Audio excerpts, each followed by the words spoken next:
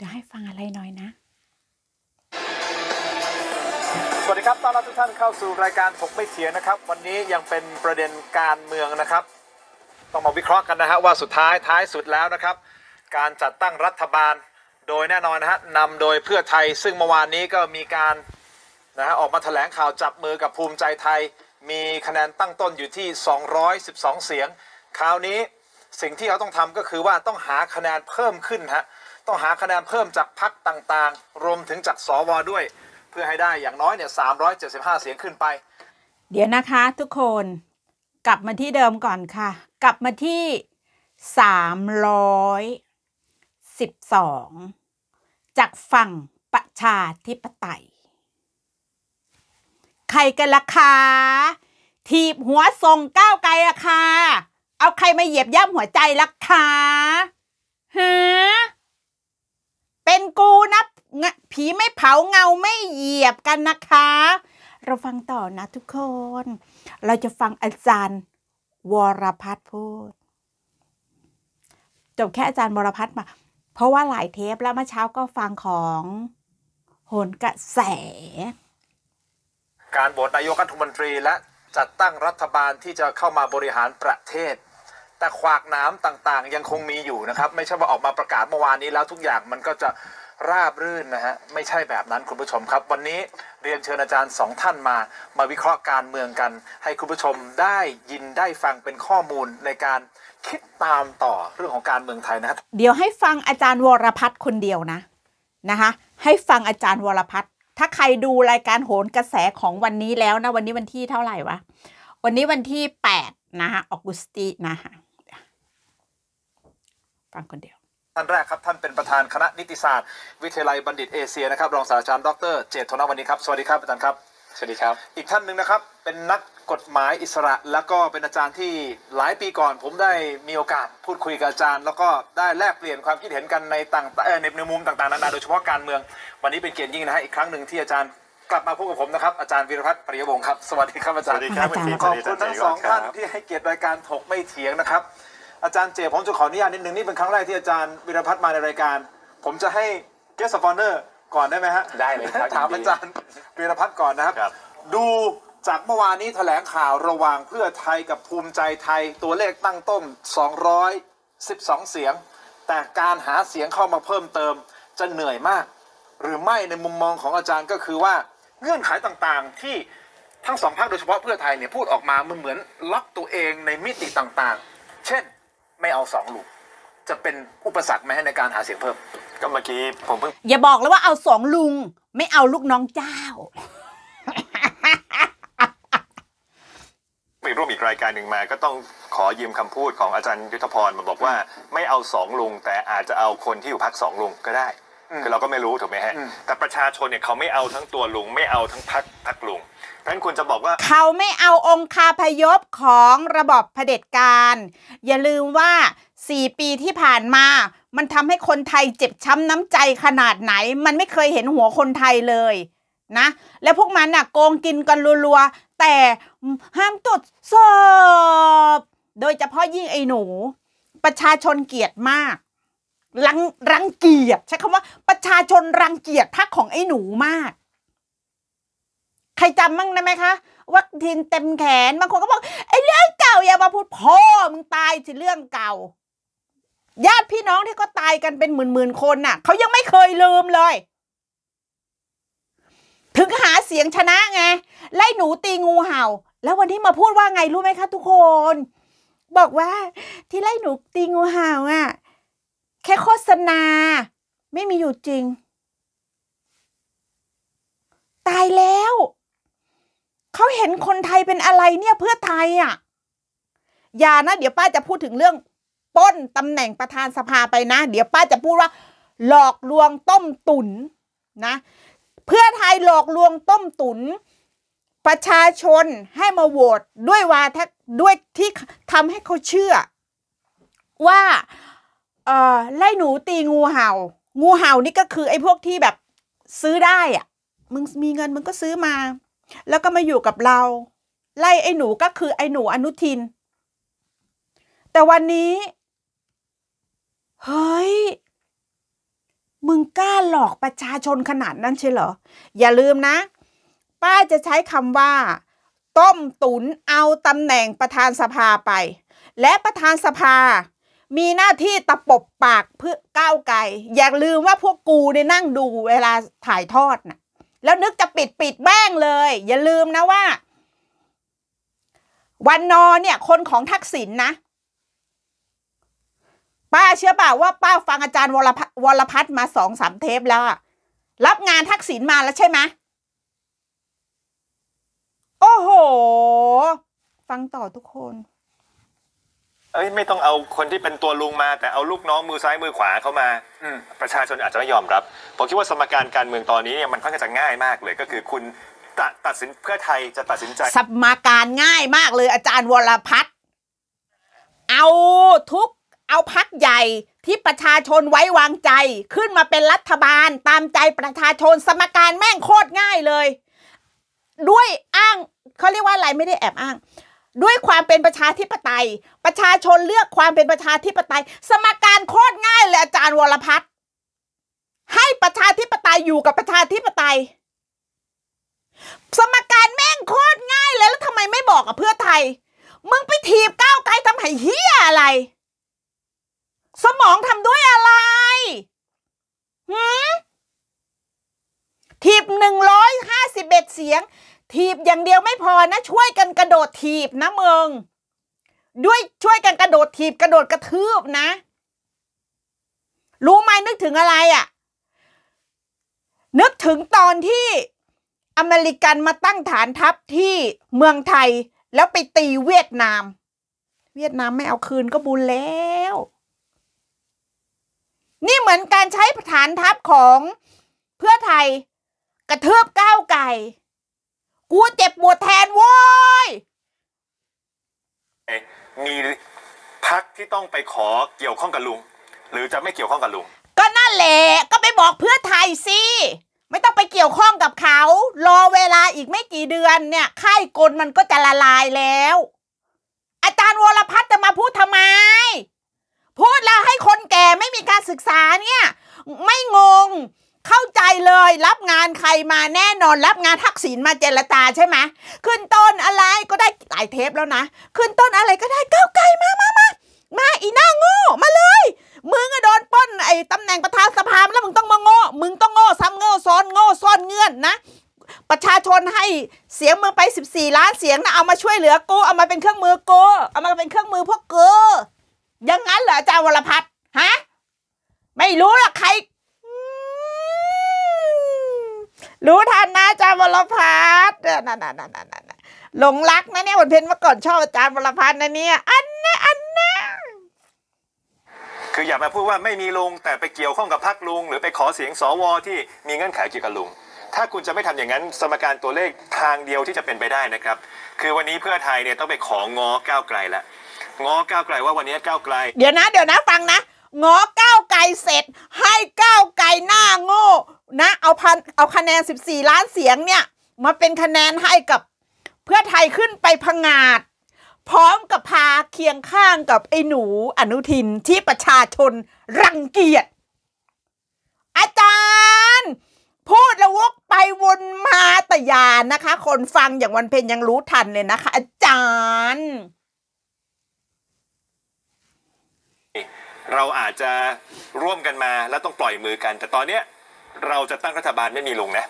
ถ้าจะตั้งรัฐบาลไม่มีลุงอืมเราของ่ายเสีง่ายของก้าวไกลง่ายง่ายเลย รัฐบาลไม่มีลุง แล้วเข้มแข็งที่สุดก็คือ ก้าวไกลที่ประชาชนไว้ใจให้คะแนนมา 14 ล้านเสียง และเพื่อไทยที่ประชาชนให้คะแนนมา 10 ล้านกว่าเสียง 8พักรวมกัน สมการเนี้ยป .4 สอนอาจารย์นะคะ ง่ายไหมเอาคนที่ประชาชนไว้ใจมาเป็นรัฐบาล อาจารย์จะไปพูดทำไมเนี่ยฮะพูดยังไงให้ป .4 ไม่เชื่อค่ะ ขนาดหล่อนั่นนะขนาดหล่อพูดจาดีตักกะไม่วิวัดไม่มีบัตรเหมือนหมอชนละนาดเหมือนมาเขาเรียกว่ารับไม้ต่อจากหมอชนละนาดกูละขำพูดคนแก่ไม่เชื่อ โหวตตั้งรัฐบาลให้เรา แต่ก้าวไกลเป็นฝ่ายค้านนะครับ คนฟังขอโทษนะคะ เหมือนอะไรรู้ป่ะนี่อ่าก้าวไกลมานี่มานี่ฉันน่ะ จะไปมีเมียใหม่ละนะฉันน่ะ เธออย่าว่าอะไรฉันนะ ที่ฉันขอสมมติว่าสมมติว่าเขามีสมทรัพย์สมบัติด้วยกันก็คือตำแหน่งประธานสภาใช่ปะจริง ๆ มันเป็นของมันเป็นของก้าวไกลใช่ไหมเธออะฉันหลอกเธอ เขาเรียกว่าหลอกลวงเอามาได้แล้วอะพูดยังไงก็ได้ ให้เมียให้เมียที่ว่าหน้าโง่อะเอาเอาเอาสมบัติชิ้นนี้มาให้ฉัน พอให้เสร็จปุ๊บเราเราเราจะได้ใช้ร่วมกัน ปรากฏว่า โอ้โห ประธานสภามา จ้องจะตะปบปากก้าวไก่ ไม่ให้ก้าวไก่พูด นึกว่าประชาชนเขาโง่เหรอนี่ปสี่นะเนี่ยฮะแล้วอย่างอาจารย์วรพัฒน์มาพูดเราจะไม่ร่วมรัฐบาลถ้าไม่ร่วมรัฐบาล ถ้ามีปัญญา ทีมหัวก้าวไก่ส่ง ก็มีปัญญา หามาเติมเองสิอีกเพื่อไทยเนี่ยในเมื่อมีปัญญาทีมหัวเขาส่ง ก็มีปัญญาไปหาคะแนนมา อย่ามาอ้างว่า ไม่มีเพราะอย่างนี้ไม่มีลุง ก็อยู่ด้วยกันแปดพักไม่มีลุงแล้วไงอย่างเงี้ยเข้มแข็ง รอให้ค่ายกลมาละลายแค่ไม่ถึงสิบเอ็ดเดือน อาจารย์วรพัฒน์มาพูดนะแบบว่าเหมือนรับรับงานใครมาปะเนี่ย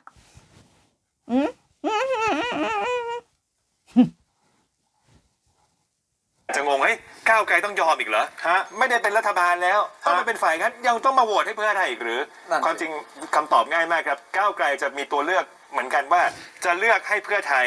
ตั้งรัฐบาลไม่มีลุงได้ โดนก้าวไกลช่วย แต่ไปเป็นฝ่ายค้านนะ หรือนอน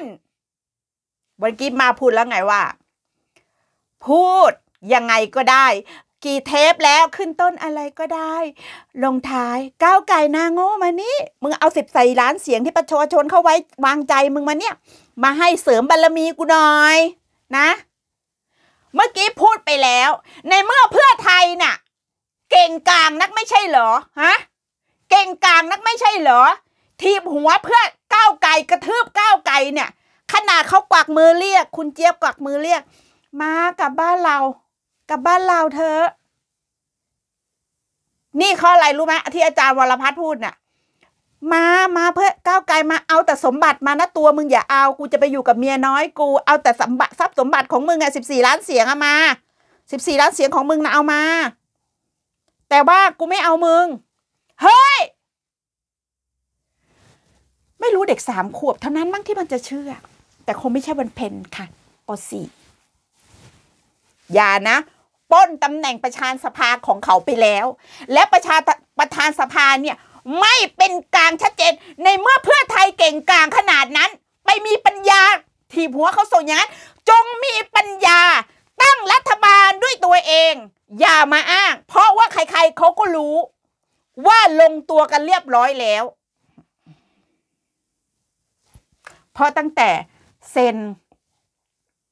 M M O U ทางคุณนิดสิทธา ใช่ไหมสิทธาสิทธา ชื่ออะไรนะเลยผู้ผู้พันปุ่นน่ะ ก็บอกอุ้ยทำไมทำไมเอ่อ M O U คุ้นคุ้นๆ เหมือนเหมือนของอนุทินเลยอะเรื่องกัญชาอืมอาจารย์วรจ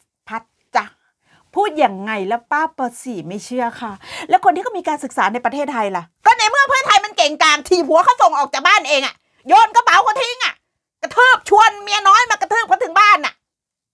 ก็มีปัญญาเขาไปหาทุนกันเองสิเอออย่ามาวนจะปล่อยให้เพื่อไทยถูกบีบถูกบีบ จนกระทั่งเป็นรัฐบาลมีลุงอ้าว แล้วอยู่กันดีๆทำไมไปซะละ่ะฮะ ทำไมทำไมเก่งกร่างนัก โอ้โหครับค่ะครับเพื่อไทยค่ะ ชนช็อกมินต์ในเมื่อกล้าขนาดนั้น ก็มีปัญญาขนาดนั้นก็ไปหาเองสิอย่าเอา 14 ล้านเสียงของประชาชน ที่อยู่ฝ่ายประชาธิปไตย ไปสนับสนุน ไอ้หนู ซึ่งเป็นไม้ค้ำสะเด็จการ ไอชาติชั่วตัวนี้ไม่ใช่เหรอ วัคซีนเต็มแขนไอชิบหายคนตายมากกว่าที่อื่นอีกไอส้นตีนหืม แล้วมันคุมกระทรวงใหญ่ ๆ อย่างกระทรวงอะไรวะอะไรวะไอของผออมึงมึงลองนึกสิหมอต้องใช้เสื้อกันฝนน่ะ เป็นชุด PPE อะ ประชาชนต้องช่วยกันน่ะ ทั้งทั้งๆที่มันมีงบมหาศาลน่ะ ไอ้แม่เย็ดอย้ายกูด่านะ เจ้ากูยังด่าเลยนะมึง เพื่อไทยจะต้องบอกก้าว ไกลว่าเรากำลังจะทำภารกิจของเราสำเร็จแล้วนะ คือตั้งรัฐบาลไม่มีลุงเข้าไปโอ้ยโอ้ยเบาว่าได้เบาไอ้อย่างเงี้ยไปหลอกเด็กเธอ เราจะทำภารกิจ ถ้าจะทำภารกิจของเรา ทีมเขาส่งไปทำไม มีตั้งสามร้อยสิบสองเสียงอะฮะ เก่งกลางนักไม่ใช่เหรอเพื่อไทยอะฮะเก่งนักไม่ใช่เหรอ วิชาศรีธนนชัยวิชาโจรอะใช้จัง โกหกหลอกลวง แม้แต่ประชาชนน่ะ ยังโกหกเลยแล้วครั้งนี้จะมาไม่ มันมีอะไรที่จะมาการันตี ว่าเขาพูดความจริงฮะจะเอามาหลอกล่อว่าเราจะไปแก้รัฐธรรมนูญนะก็ไอ้เฮียพวกไอ้หนูเนี่ยมันได้ดิบได้ดีเพราะรัฐธรรมนูญฉบับเนี้ย มันจะไปแก้ทำหาคนพวกคนแม่มึงเหรออืมโอ้โห แต่ละคนนี่สั่น อยากได้ตำแหน่งรัฐมนตรีกัน รับงานใครมาคะอาจารย์วรพัฒน์ คนอื่นจะมองว่าอาจารย์ต้องพูดจาดีดีกูด่าเลยล่ะมึงอย่านี่ยังไม่ได้ด่านะ แค่พูดเฉยแก้รัฐธรรมนูญ และเราก็จะช่วยผลักดันกฎหมาย หลายๆ ฉบับที่สัญญาไว้ใน MOU ระหว่างก้าวไกๆลอ้าวก็ฉีกไปแล้วไม่ใช่เหรอฮะแล้วทำไมอาจารย์ววรพัฒน์ไม่บอกล่ะ ว่าเราดึงพักใหญ่ ๆ มามาร่วมรัฐบาลดีกว่าไหมอย่างกับก้าวไก่แล้วทำไมถึงจ้องจะถีบก้าวไก่ เหมือนกูยืมคำพูดอาจารย์ไอ้คุณชอบมาหน่อย เนเธอ ฉันน่ะ จะแต่งงานแล้วนะ เธอมาเป็นคนใช้บ้านฉัน แล้วก็ไอ้ทรัพย์สินที่ติดตัวมาเนี่ยเอามาเน่เอามาเน่ฉันเอาไว้ใช้ เธอไม่ต้องใช้ อย่างนั้นเหรอฮะพูดยังไงให้ป้าปวดสีไม่เชื่อค่ะอาจารย์วรพัฒน์เคยชอบนะคะ นั่นแหละเพียงแต่ว่าก้าวไกลอาจจะไม่ได้เป็นรัฐบาล เพราะปัญหามันอยู่ตรงที่สวมาออกฤทธิ์ออกเดชตอนนี้ เอ้าทำไมไม่เก่งกลางนะทำไมไม่บอกกับสวล่ะฮะก็บอกว่ากอดกันแน่นๆค่ายกลเนี่ยมันจะพังในเวลาสิบเดือน ค่ายกลของสวอาจารย์ พูดยังไงคนไม่เชื่อ มาวันเพ็ญคนหนึ่งละไม่เชื่อ นะคะ พูดดูเหมือนดีๆเนาะ แต่ฟังแล้วโอ้โห ประโยชน์เข้าแต่เพื่อไทย แต่ก้าวไกลไม่ได้เฮียอะไร อย่าลืมนะ 14 ล้านเสียงเนี่ย เขาไม่ได้ให้เอาไปเป็นนั่งร้านของพวกฝ่ายเผด็จการนะ แล้วเขาเรียกว่าอะไรอะ ไอ้หนูได้กระทรวงใหญ่ๆเดือกกระทรวงนั่นกระทรวงนี้กระทรวงนี้ ไม่ถึงประชาชนเหมือนเดิม เหมือนเดิม ฝ่ายก้าวไกลประชาชนให้มาเป็นรัฐบาล โดนเขาเรียกว่าโดนกลโกงของเพื่อไทย เอาไปตั้งแต่ประธานสภา แล้วประธานสภาทำอะไรบ้าง กับคุณพิธาหืมแล้วก็ตะปบปากโลมชัดๆเนี่ย เหมือนกับตะปบปากจะพูดตะปบปากอย่างเงี้ย โอ้โห ไม่ต้องช่วยแล้วสิบสี่ล้านเสียงเนี่ย เก็บไว้ เก็บไว้รอดูพวกมันดิ้น เก่งนักไม่ใช่เหรอเพื่อไทยอะฮะ เก่งกล้าสามารถนักไม่ใช่เหรอ แทนที่จะอยู่ด้วยกันสายพันธุ์เดียวกัน โอ้โหกระสันอยากจะไปสัมสอนพอจะสัมสอนเสร็จ โอ้โห ขาดทุนทรัพย์ในบ้าน มามามาเมียเก่าเอามาเนี่ยมึงมาแต่ของนะ มึงมาแต่ทรัพย์สมบัติแต่ตัวมึงไปหาแดกเอาข้างหน้า ไว้ใจเล้วอาจารย์วรพัฒน์แต่ถ้าเกิดคุณบอกว่า ไกลเข้ามาร่วม สุดท้ายผมเดานะสวจะออกฤทธิ์แล้วบอกว่าถ้าไม่มีลุงมาผมไม่โหวตให้พอไม่มีลุงมาไม่โหวตให้เสียงไม่พออมผมก็เลยบอก ก็ก็สมน้ำหน้าแล้วไงก็สมน้ำหน้าแล้วไงอยู่กันสามร้อยกว่าเสียงเนี่ยยังไงมันก็เป็นรัฐมันก็เป็นเข้มแข็งอยู่เนี่ย และอีกไม่นานสิบเดือนเนี่ยค่ายกลที่เขาวางไว้อะมันก็จะสลาย โอ้โห พูดเอาแต่ได้ ว่าไว้ใจแล้วบอกว่าสุดท้ายตอนนี้เนี่ยนะครับพรรคเพื่อไทยถ้าฟังอยู่นะ อย่าเสียเวลา และอย่าปล่อยให้คุณอนุทินคุณประวิตยไปเดินเกม เพื่อไทยต้องทุบโต๊ะและเดินเกมเอง บอกว่าผมจะไปขอเสียงจากก็เดินเกมแล้วไง ทุบโต๊ะแล้วไงทุบโต๊ะปั้งก้าวไกลไป ฉันจัดการเอง ฉันแน่ฉันเจ๋ง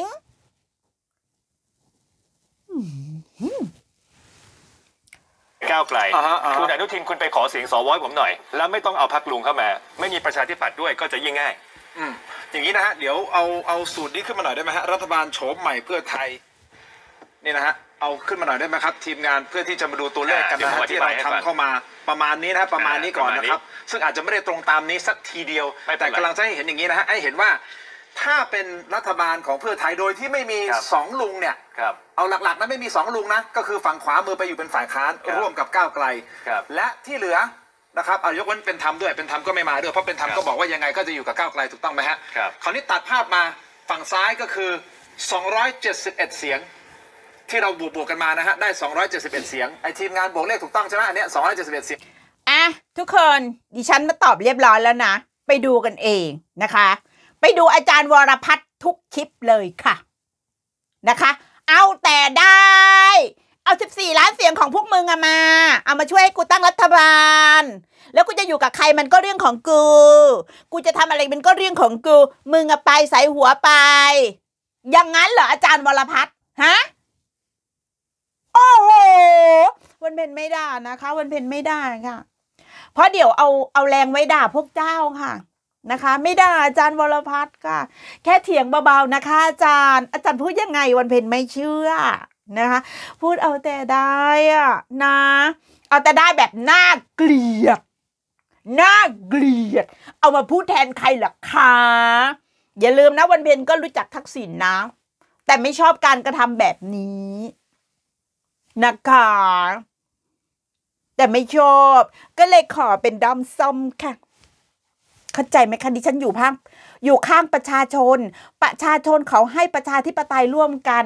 แต่มันเก่งไม่ใช่เหรอเพื่อไทยทุบโต๊ะปังเพื่อก้าวไกลไป ขนาดก้าวไกลนะที่รักกลับมาเธอกลับมาบ้านเราเอาอีหาโดนอ้าวขอโทษไม่ด่ามันเป็นไม่ด่าพี่แขก โอ้โห ด่าคุณเจี๊ยบซะเละเทะเลย แต่คุณเจี๊ยบเขาไม่เถียงหรอกแบบนั้นอะ มันเพลเลยเถียงแทนให้เบาๆแต่ละคนที่ส่งเขามานะ อันนี้ตักเจาะเขาเรียกว่าอะไรอะอ๊ยกูว่าเด็กเจ็ดขวบก็ฟังแล้วก็คิดเหมือนเราอะโอเคนะคะบายบายละยีิบสองนาทีพอนะจ๊ะ